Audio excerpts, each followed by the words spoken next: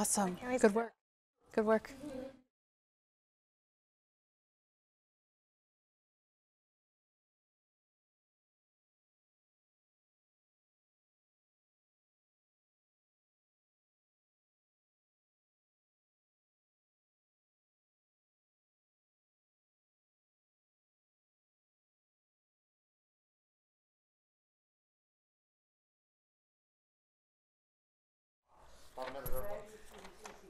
It was 100% what I needed.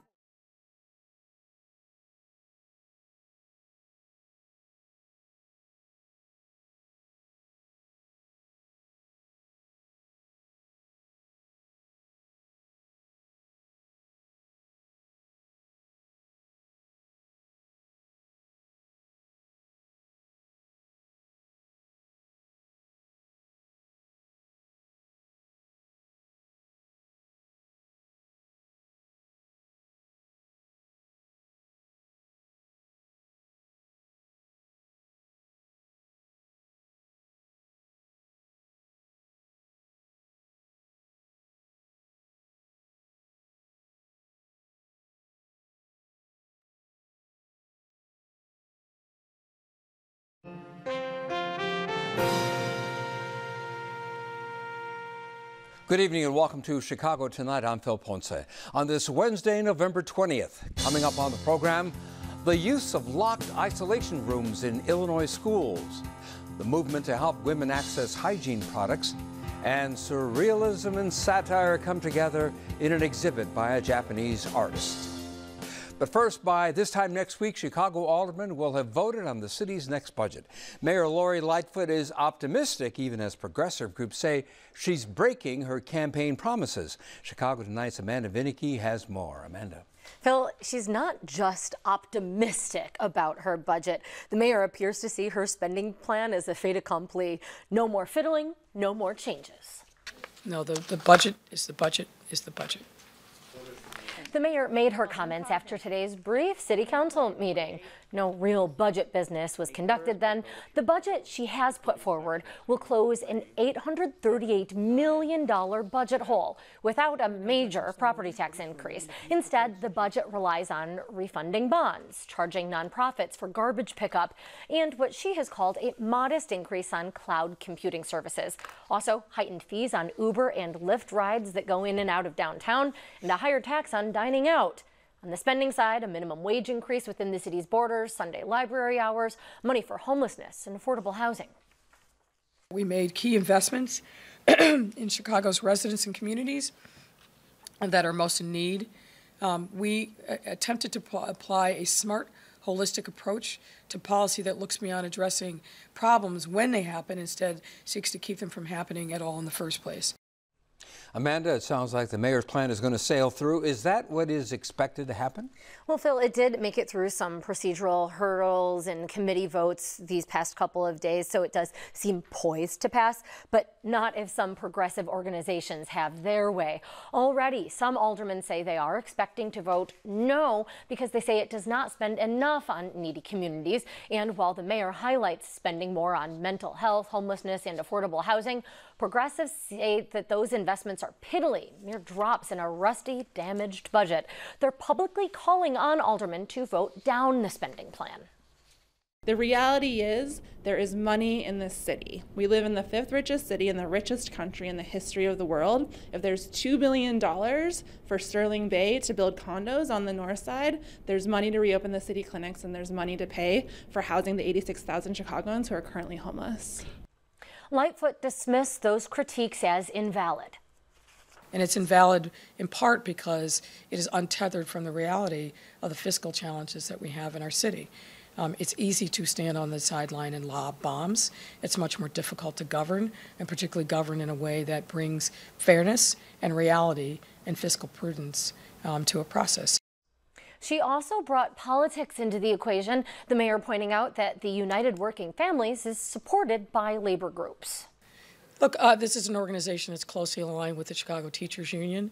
Um, I would expect that they will have a continual drumbeat of complaints throughout my term, and it wouldn't surprise me later in the day if they support um, a challenger to me. So you'll hear from them You've heard from them re- uh, repeatedly um, in those, these last six, uh, six months, and you'll continue to hear from them. Um, the, what we can do is make sure that we continue to make sure that um, residents and voters actually get the facts um, that's not obscured by noise. To put some context there, the CTU, of course, had endorsed Lightfoot's rival in the mayor's race. And even though the CTU, mayor, and Chicago Public Schools did eventually reach a contract agreement, there's some clear bitterness and tension following last month's teacher strike. Now, as you may expect, United Working Families pushed back. That's petty. Um, this is not personal. This is about what Chicago, what the poor, working black and brown folks of Chicago need and deserve. And this is about what the 2019 mandate was for. It was for a candidate who said she would reopen clinics. It was for a candidate who said she would tax the rich. It was for a candidate who said she would reform the police. It was for a candidate who said there would be a dedicated revenue stream for housing. It was for a candidate who said there would be an elected school board. That's what the people of Chicago voted for. Ty used that old metaphor of this is a marathon, not a sprint, in terms of lobbying for what United Working Families desires here. Now, that venture also, of course, is going to likely prove true when it comes to the politics at play. Now, as for that sprint of a new city budget, the vote is set for Tuesday. Amanda, thank you. And up next, students in isolation rooms at Illinois schools. A new investigation has details.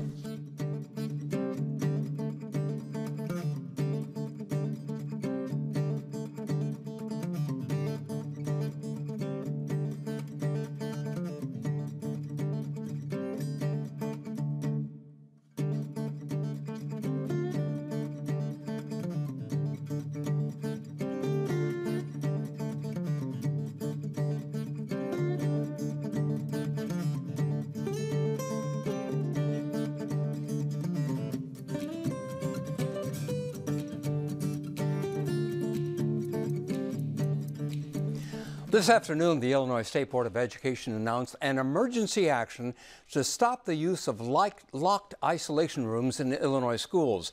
It comes one day after a Chicago Tribune ProPublica investigation revealed that tens of thousands of cases of schools putting students into locked seclusion, often without any safety reason for doing so.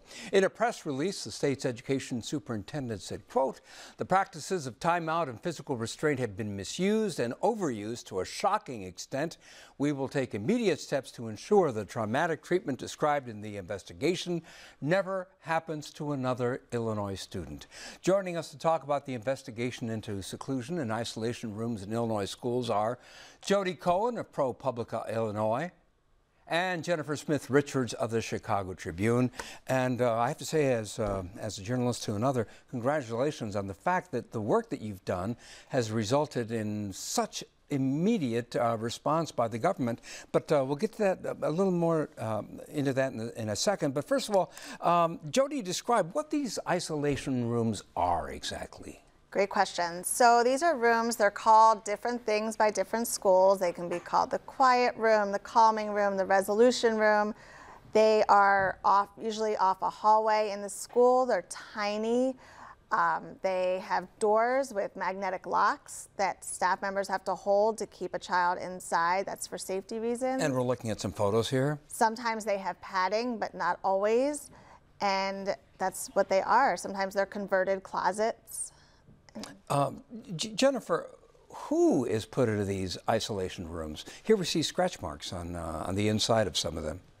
Right. So a lot of these rooms are used um, to control the behavior or force compliance or punish children with disabilities. And we saw, you know, frequent use of these types of rooms in schools that particularly serve kids who have emotional or behavioral disorders. And uh, what kinds of things, Jodi, did uh, did you hear from students who had been placed in these locked isolation rooms? So what was really interesting is we were able to get incident reports from when students were placed in the isolation rooms, and often the staff members would um, document moment by moment what was happening, even the dialogue of what the student was saying while inside the room. So we were actually able to hear the kids' voices in a sense. Um, we of course also spoke to children, you know, ourselves, but through the records we could see children crying out, crying out for help. Please, please help me. I'm scared. Um, you know, you're torturing me. So we were really able to share with readers um, you know, what was happening with children. And Jennifer, what did you find out about the scope of the problem? How widespread is this practice used? Well, probably much much more widespread than people anticipated it would be. Um, we we were able to look within about hundred school districts and find instances of seclusion.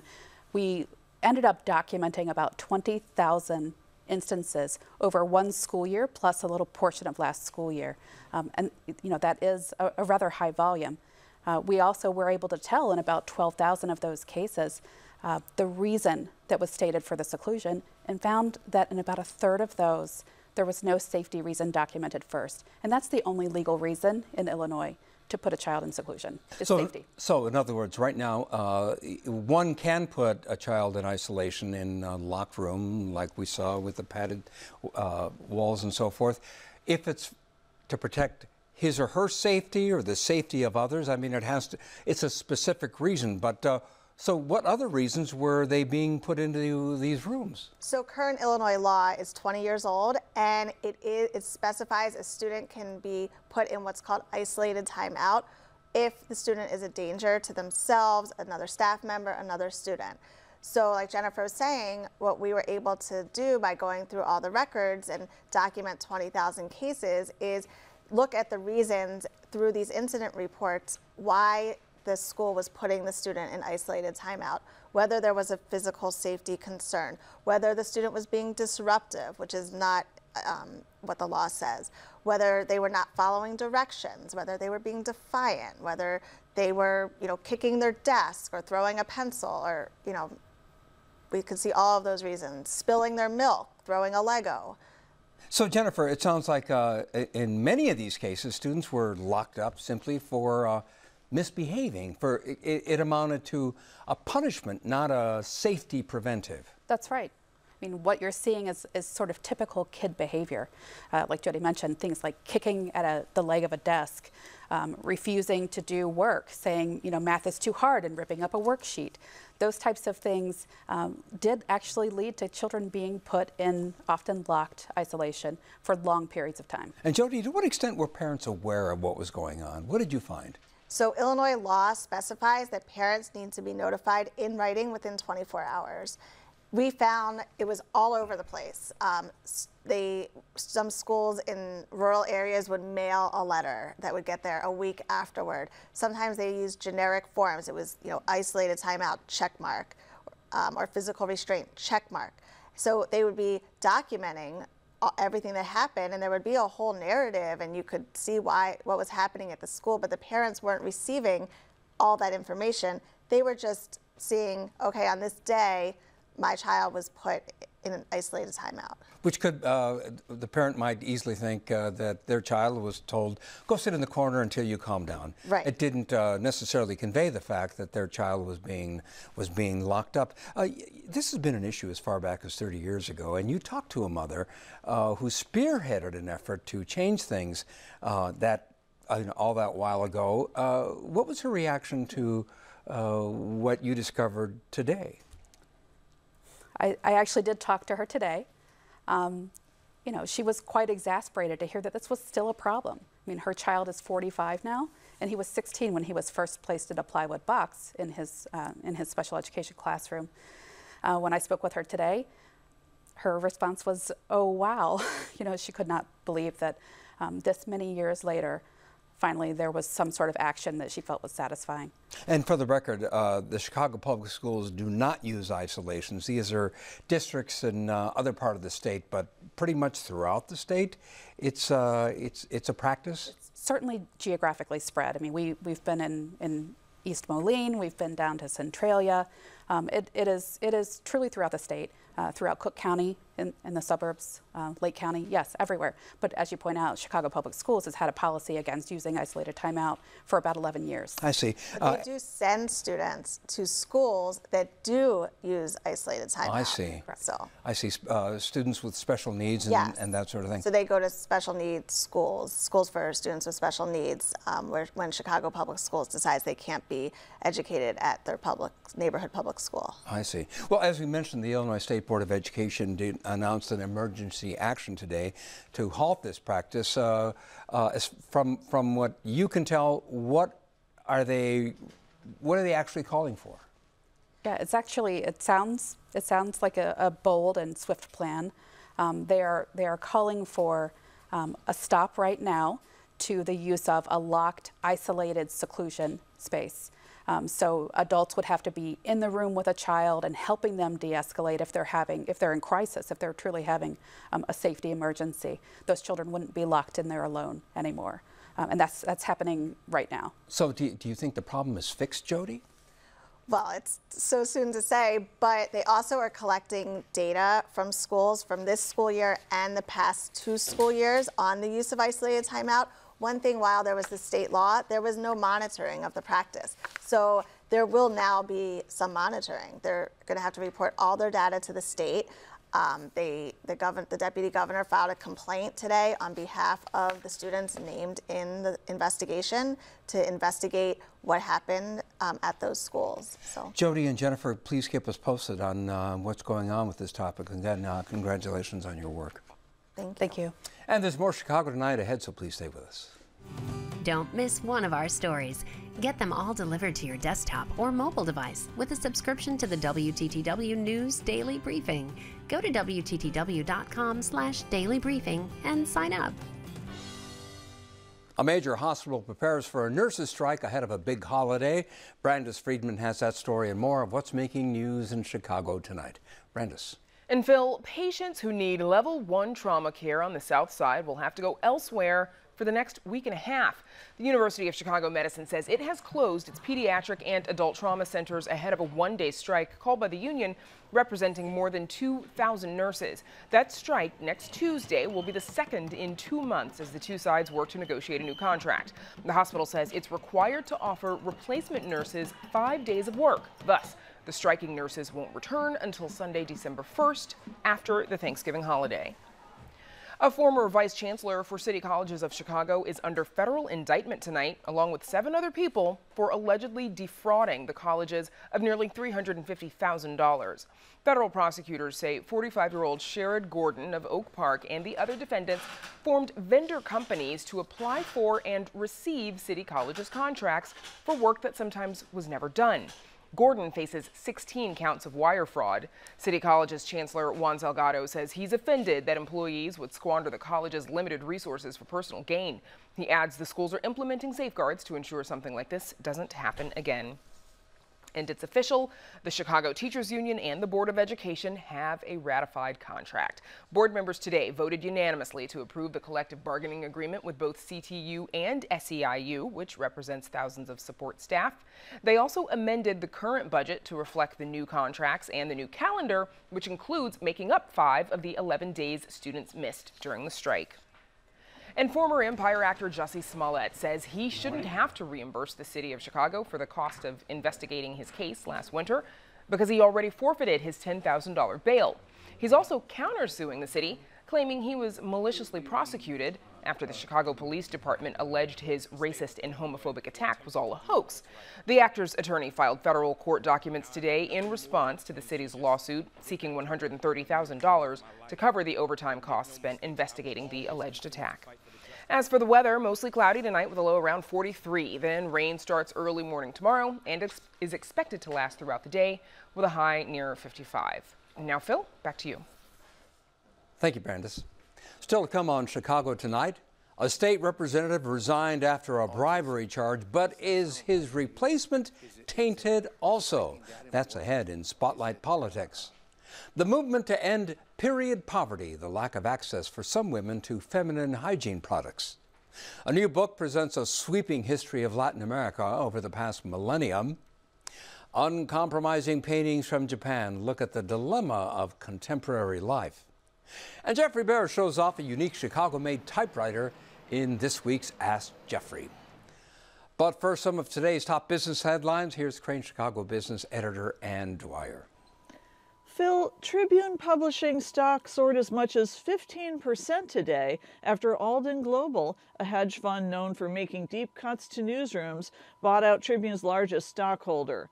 Alden purchased more than 9 million shares from Michael Ferro for about $118 million. Bloomberg reports Alden is also negotiating with Tribune to put two of its representatives on the board. Meanwhile, the development team planning what would be the city's second tallest building has unveiled revisions at the street level. Those changes, however, would leave the design of the sleek skyscraper right next to the old Tribune Tower largely unchanged. The design changes mostly have to do with traffic management and creating parking and turnaround space. The tweaks come in response to neighborhood concerns that the super tall tower would snarl traffic in Streeterville and along the Magnificent Mile. If built, the tower would be more than 1,400 feet tall, edging out the Trump International Hotel and Tower to become Chicago's second tallest building. And finally, one of the state's biggest marijuana companies will be able to sell recreational marijuana from its existing medical dispensaries beginning January 1st. Illinois regulators approved five Verilife facilities operated by PharmaCann, as well as an outlet near Bucktown and another in Mount Prospect. So far, the state has approved 14 of the 55 medical marijuana dispensaries statewide to begin selling marijuana to recreational customers. For Crain's Chicago Business and ChicagoBusiness.com, I'm Ann Dwyer. Back to you, Phil. Thank you, Ann. Empire actor Jussie Smollett is back in the headlines with his lawsuit this week, just as the state's attorney, whose office cleared him of charges, announces that she is running for re-election. Meanwhile, there's turnover in the state legislature. What's behind the Senate president's sudden retirement? And will a new legislator chosen under circumstances clouded by corruption be turned away? Here for more insight on this week's political stories are our Spotlight political team of Amanda Vinicky and Carol Marin. Amanda and Carol, Always good to see you. First of all, uh, in this new reelection video, Cook County State's Attorney Kim Foxx says that she didn't handle the Jussie Smollett situation very well. Is that enough to placate uh, angry voters? It might help. Um, it's been a long time coming. She resisted it in the beginning, has gradually moved towards it, is facing, I think, some real opposition in this race. Um, and so I think voters do pay attention when somebody says, I screwed up, I didn't handle it well, I've done other things well, don't judge me on just this one thing. That's sort of what you're supposed to do, right? If you're a politician who makes a mistake, you apologize, hope to move on. The question is, is this enough? One would imagine that she probably is sorry, given that this got oh, not only, oh yeah, I mean global pushback, and that it continues to be, as you put it in the headlines. That said, she hasn't gone past the contrition. She hasn't said what she handled wrong, how she handled it, or could have handled it better. So we'll wait to see. And, and Dan yeah. Webb, the special prosecutor mm. who is assigned now, I mean, the the possibilities of other shoes dropping. It, it, are, this isn't going away. This isn't going away. Jussie Smollett is suing.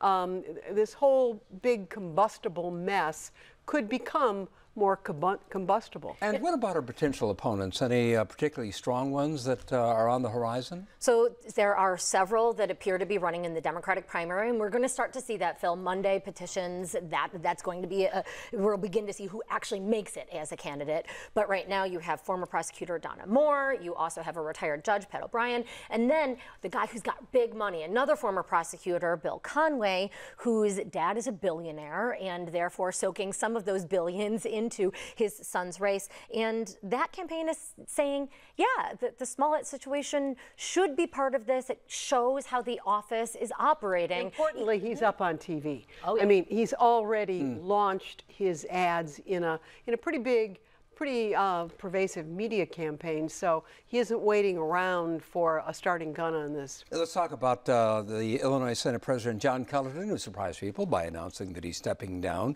sometime in January. He says he wants to spend more time with his family. Do you buy it? Uh, I think that may be a component of it. I would not rule out, though uh, he says it really isn't the case, that the surround sound of, of global, use Amanda's word, federal probes um, are really partially a driver. There are three people in his Senate Senator Cullerton, who uh, no, uh, a distant relation, who is indicted, Martin Sandoval, who's been raided, and Senator Terry Link, who allegedly wore a wire on uh, on on uh, former state former rep, state. We'll get rep. into that in a we'll bit. get into that in a second. um, there's a lot happening. And John Cullerton is a lobbyist for the city. In this federal investigation, Phil, it touches the city council, the House, the Senate, the county board, suburban government, Cinespace, ComEd, Exelon, gambling interests, uh, red light cameras, mm. and a host of lobbyists. Tentacles going in a lot of places, and he's still going to continue to practice law. Uh, Senate Democrats are scrambling to replace him. Uh, there's a front runner, I understand a front runner, but there isn't going to be a vote until January. So we did hear that some of the other main names that were thought to be those who could really carry this race are going to instead be backing State Senator Kim Lightford. That said, it's not as if she has a lock on this. Um, Don Harmon is a state senator from Oak Park who has clearly wanted to have this position and hold this position from some time, and he has his own constituency. And then you have some of these other senators who may be and come through, they're not getting a ton of attention now. They may not have all the votes, but they could become compromise candidates. And so we'll be talking about this, but Senate Democrats are going to be making that decision and those votes behind closed doors. And let's talk about something you, uh, you alluded to and that is there's already one new member of the legislature, the replacement for Representative Luis Arroyo, who, resi- who as we know, resigned as he faces a bribery charge. Uh, there's a dust up over the person chosen to replace him. Uh, what's, what's going on? What's going on here is that when you have a vacancy in the General Assembly like this, it is up to local leaders known as committeemen. They're partisan uh, electeds who get to choose the replacement. Arroyo, at the same time as he was a state representative, he resigned from that, but he is still a committeeman, and in fact, the committeeman with the most weighted votes. And he has not, as I said, stepped down from that position. He did not actually choose to pick his replacement, and that is, her name is Eva Dina Delgado. She is an executive for People's Gas, but he did give his votes to Alderman Ariel Reboyras for to vote in as proxy. And so that is how Delgado got this position in, in a heavy contest. And the question is, will the House actually seat her? Well, and Speaker Madigan has been um, more proactive than it was argued President Cullerton was in saying we're going to we're in a new era and we're cleaning things up and he has vowed that this is is an improper use of power by someone who's in big trouble and so there could be um, there could be a fight in the legislature over let's, this. Uh, let's talk about the mayor for a second. Uh, the legislature is done for the year and the mayor does not seem to have had very much success. Uh, why not? Well, there could be a lot of reasons attributed uh, to, that contribute to that, and that could be that some say she started too late. I, in fact, spoke with one alderwoman today, um, Jeanette Taylor, who said that she had been saying, "Let's go down as a city council. I want to be part of this. Take me to the Capitol, and I can try to get some votes on board." Uh, you do see Chicago Democrats who are members of the legislature starting to form what uh, their own caucus, trying to become an entity unto themselves that they're hoping will bring traction more to to the city's but issues. The question is, wh where's the governor on this? She's she's a new mayor, and and I think there's always going to be a little bit of chastening of you're not just going to walk in here, even if we're loyal to you and get everything you want. And Governor Pritzker has a huge agenda of his hmm. own, mm. including a progressive tax. He wants to consolidate pensions. He's got some stuff to do, and he's going to get his stuff done one might argue first. Amanda, Carol, thank you both. Appreciate it as always. Sure thing. And we're back with more right after this. Don't ever miss Chicago Tonight. Subscribe to our podcast. Get a daily download of our show delivered to your desktop or mobile device. Go to WTTW.com slash Chicago Tonight Podcast and subscribe.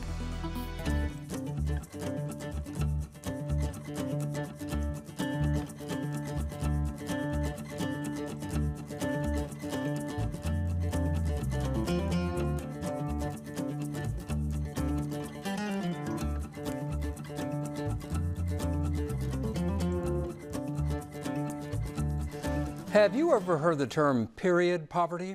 Nearly 25 million American women living below the poverty line are faced with a terrible choice every month between buying hygiene products versus other necessities.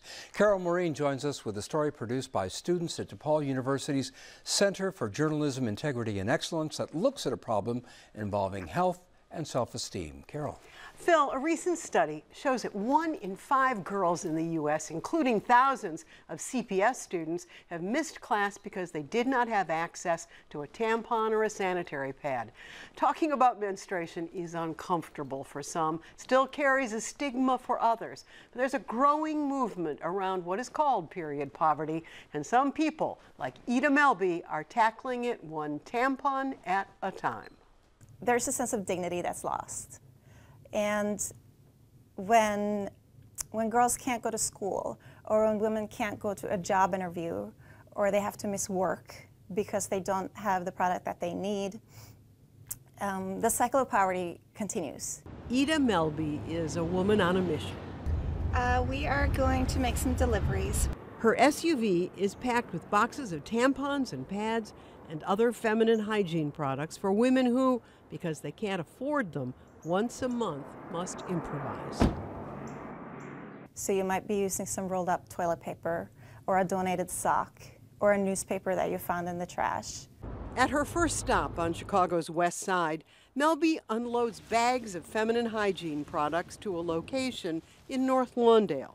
So far this year, her group, the Period Collective, has supplied over 170,000 products to 32 social service agencies.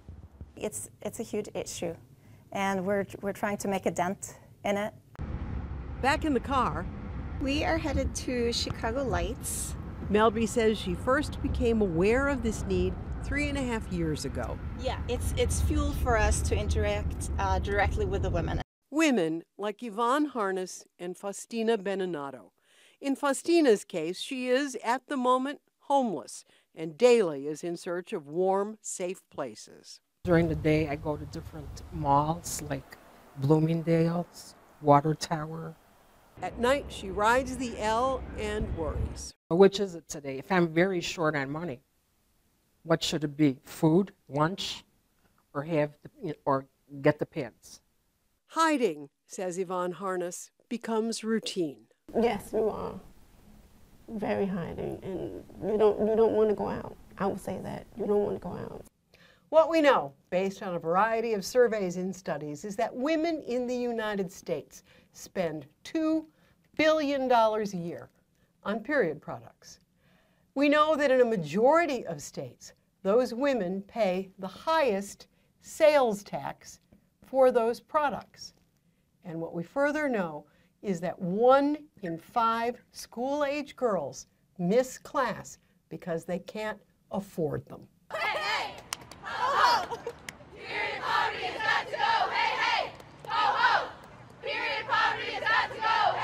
In October, in Chicago's Federal Plaza, women and some men gathered to help shine a light on the access or lack thereof of period products. This rally, one of 55 held across the country, was organized by Mary Catherine Hannafy LaPlante, a junior at Mount Prospect High School. We go to a fairly wealthy, affluent public high school, and so you would think that we would have these products readily available, but I can't count the amount of times I've gone to the bathroom and they just aren't there. Since 2018, Illinois requires that feminine hygiene products be available for free in bathrooms in public schools. When kids are in school, um, they're worried about being bullied if it happens. Um, and so, unfortunately, a lot of kids actually miss school when they're on their periods because if, if you worry about bleeding through your clothes, you can't really focus on what's going on at school.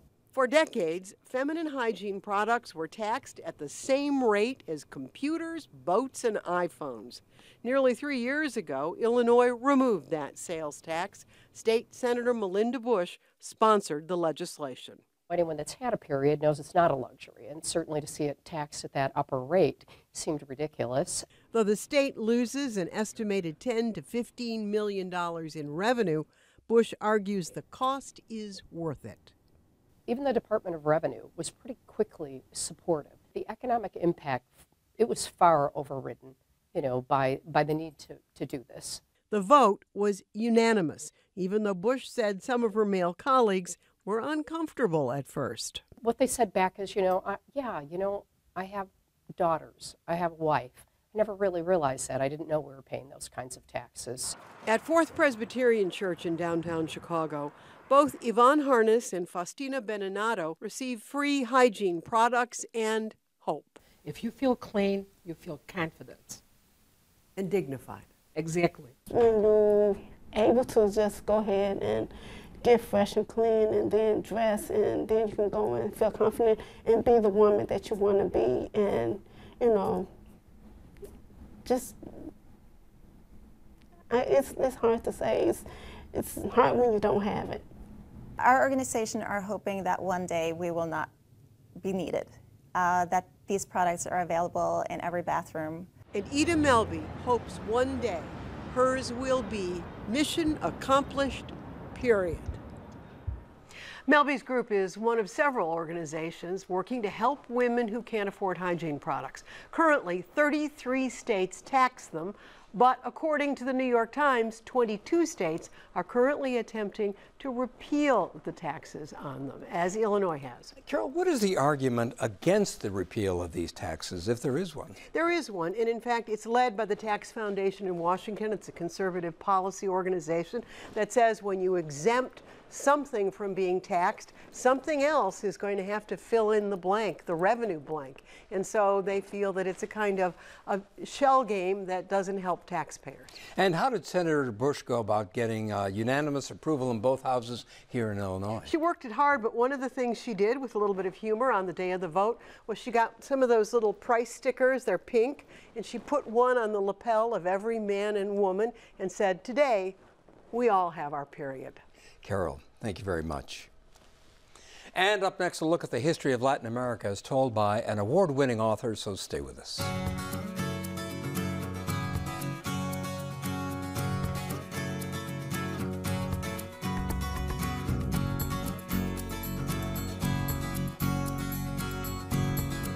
Our next guest is a Peruvian American journalist who has just written a sweeping history of Latin America. Her new book highlights the continent's persistent economic inequality, racism, and violence, and three obsessions that she says, quote, have held Latin Americans fast for the past millennium. The book is called Silver, Sword, and Stone Three Crucibles in the Latin American Story.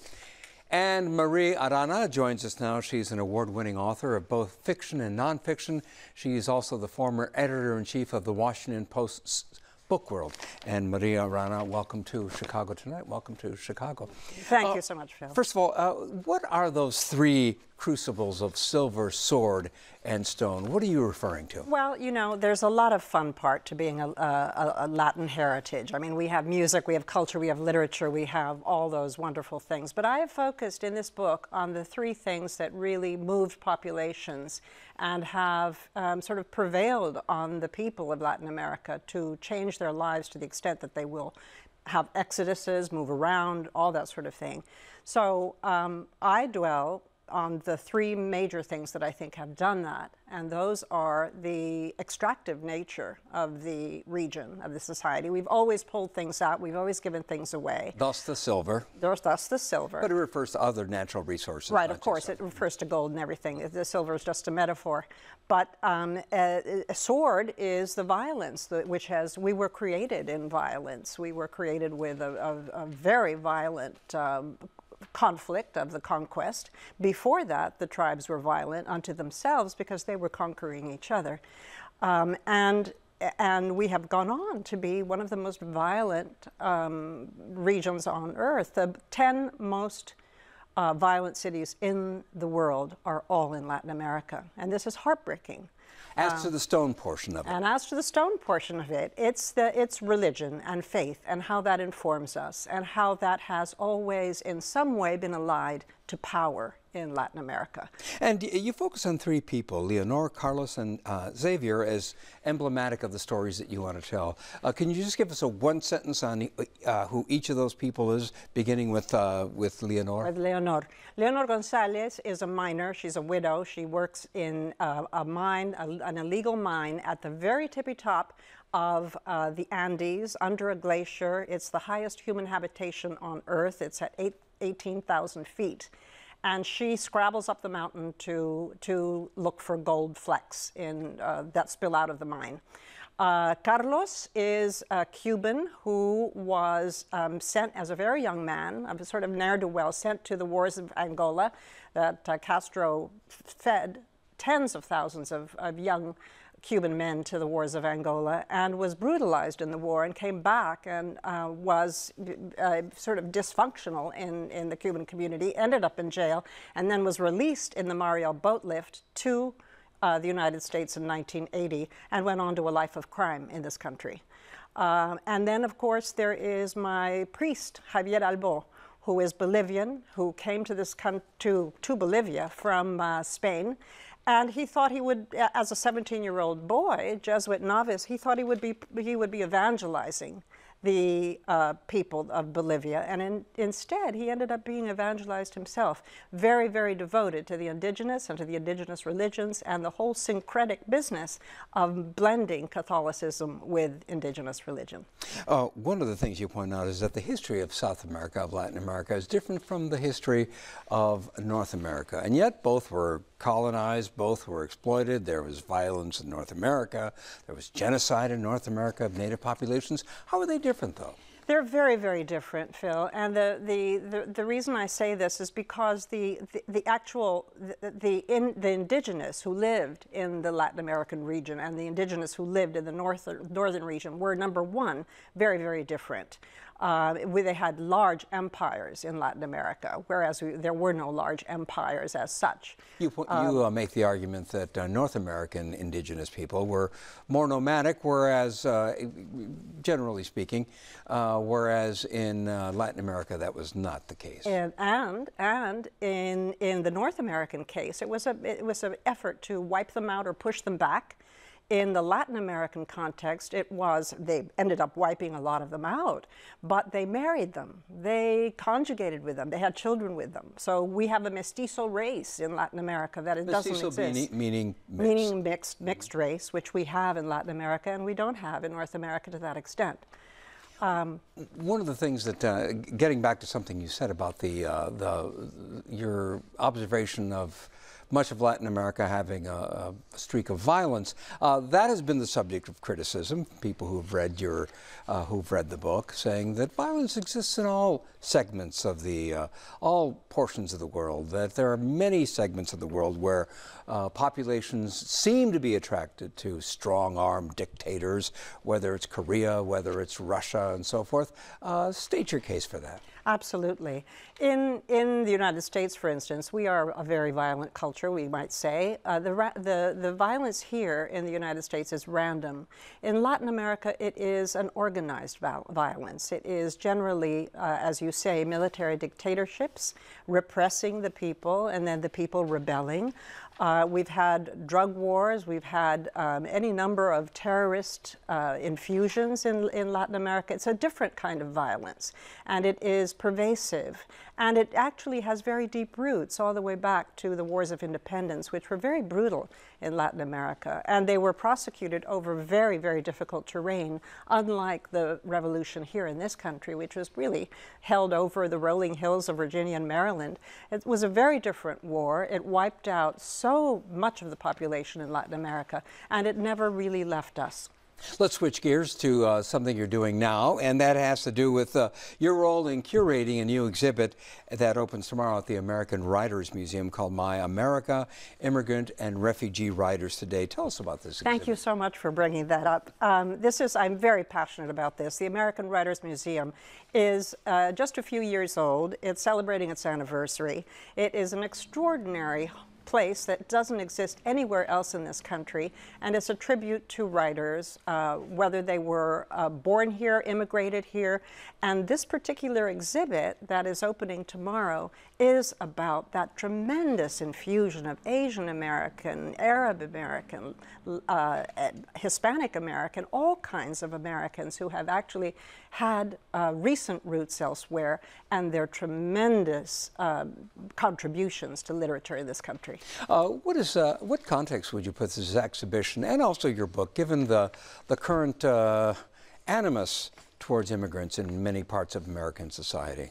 I hope that my book actually explains who we are as Hispanics, this tremendous, first of all, the presence that was here long before the pilgrims ever arrived, uh, in, in, in, particularly in the uh, southwest of this, of this country, all the way up to Colorado. But, uh, but also, it, it explains that that history, but it also explains the reason why history has created the tremendous influx of Hispanics in this country. We are now beyond 20% of the population in this country. We will soon be in 2050. 30%, one of every three Americans will have some measure of Latin American legacies and heritage. Marie Arana, thank you so much for stopping by. We very much appreciate it. Thank you very much, Phil. And once again, the book is called Silver, Sword, and Stone Three Crucibles in the Latin American Story. You can read an excerpt on our website. And as we mentioned, a new exhibit curated in part by Arana called My American Immigrant and Refugee Writers Today opens tomorrow at the American Writers Museum. An artist with a cult following in Japan and Europe has his first show in the United States, and it is in Chicago. We visited for a strong dose of surrealism and satire. Dark moods loom in paintings that have been called both uneasy and alluring. Humans merge with technology, their environments, and the natural world. The works are by the contemporary Japanese artist and designer Tetsuya Ishida, who died at a young age in 2005. Inspired by Japanese comics and social realism, he made pictures of isolation. He's also reflecting the highly corporatized economy in which he lives. So it's very um, regimented. Uh, people are really devoted to the corporations they work for, and that there is really no individualization. And he's feeling this incredible alienation from that. Uh, and a feeling of melancholy and a feeling of isolation and anxiety.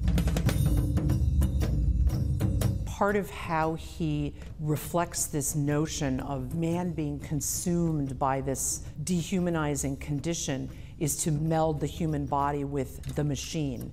So, for instance, in this painting, he is showing the man as microscope. And you will see throughout all of his paintings that he uses his own image and he replicates his face over and over and over again.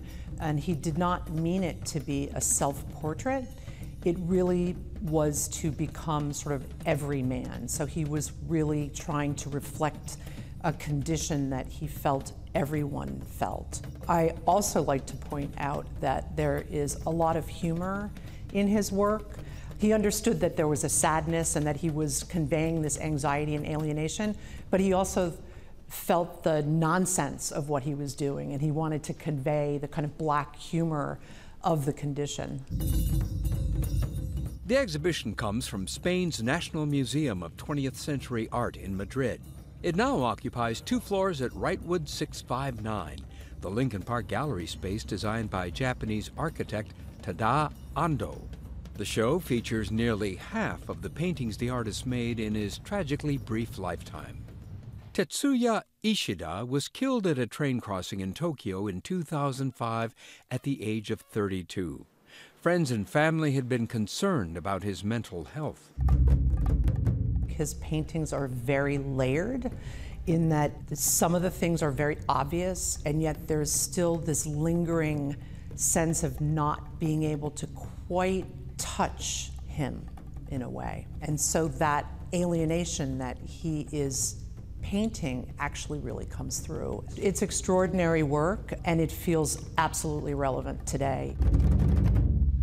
The exhibition is called Self Portrait of Other. It is at Wrightwood 659 through December 14th, and there's more imagery and information on our website.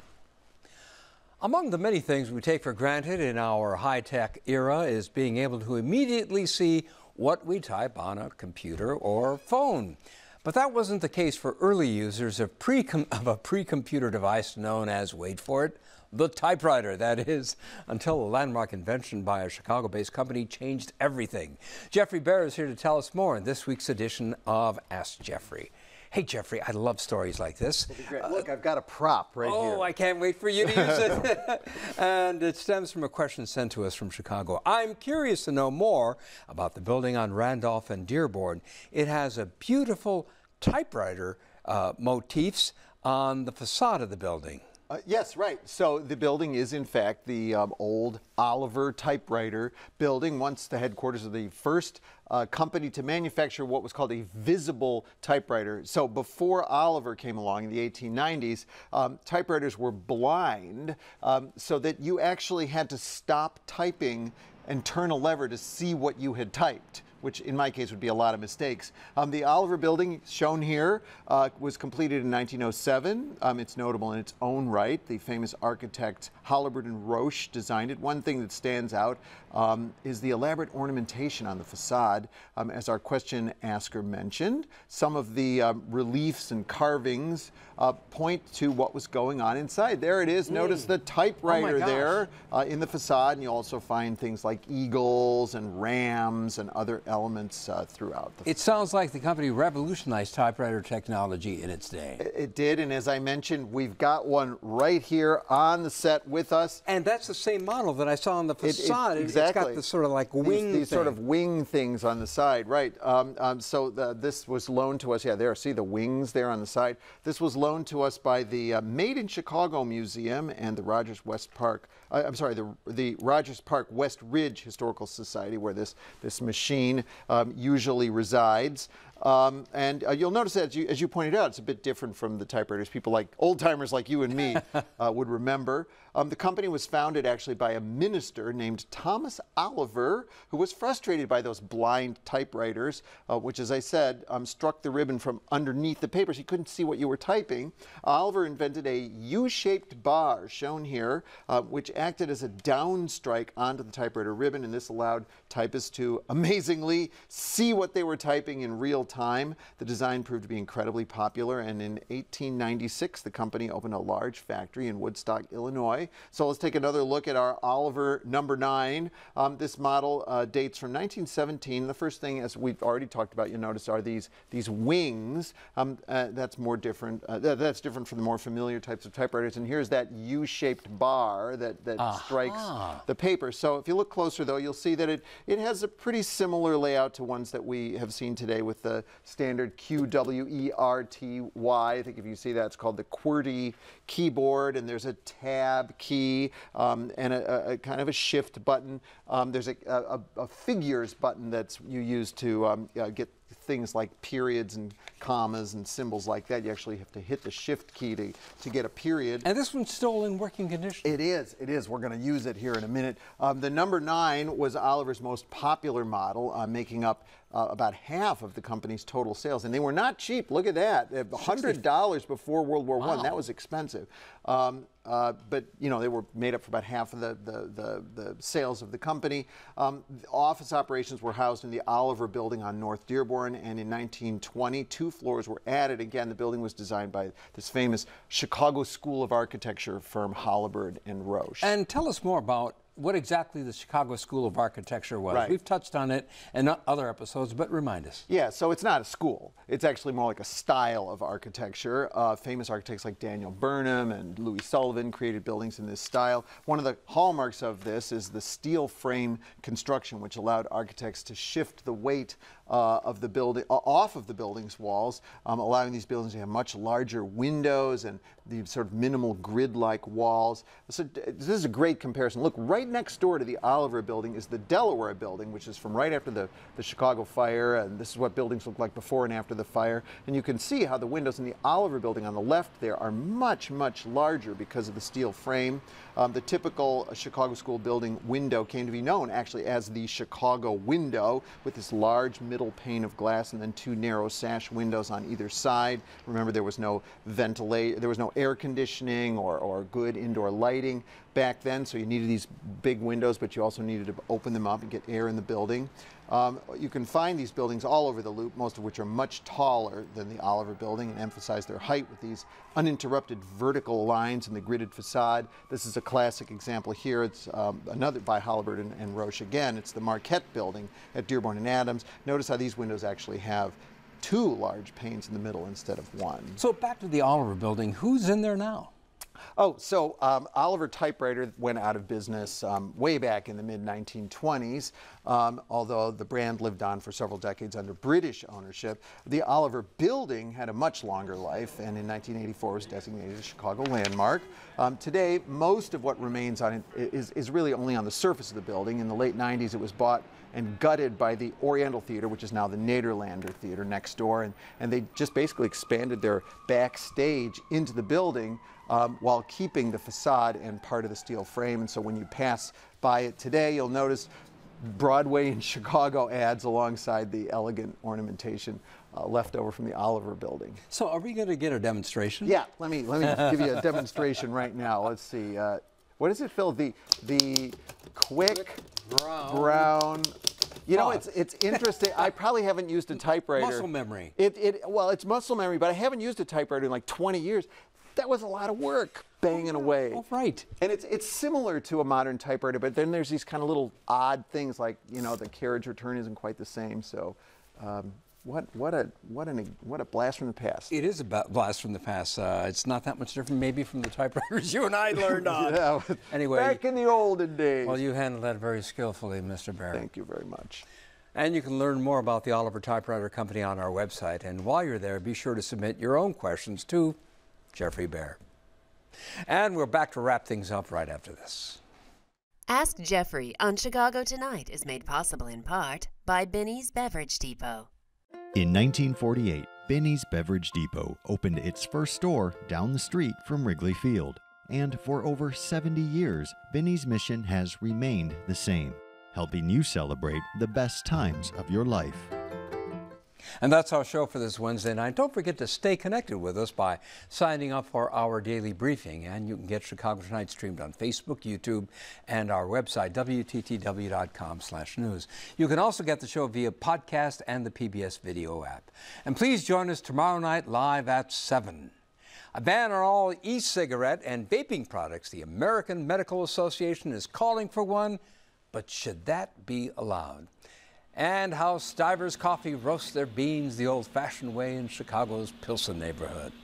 Now, for all of us here at Chicago Tonight, I'm Phil Ponce, and I thank you for watching. Good night.